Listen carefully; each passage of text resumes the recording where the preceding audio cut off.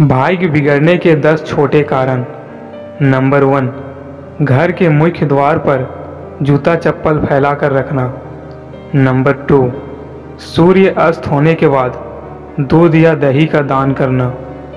Number three मंदिर से लौटते वक्त घंटी बजाना। नंबर फोर मंदिर के पट बंद होने के बाद घंटी बजाना। नंबर फाइव पूजा रूम के अलावा घर में जहाँ तहाँ देवी देवताओं के चित्र लगाना। नंबर सिक्स, बिना साफ़ किए दीपक को जलाना।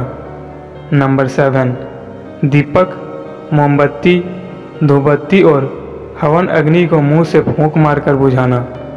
नंबर एट, कबाड़ को बेचकर मिले पैसे से खाने पीने की चीज़ें लाना। नंबर नाइन, दूसरों से उधार ली हुई वस्तु को वापस न करना।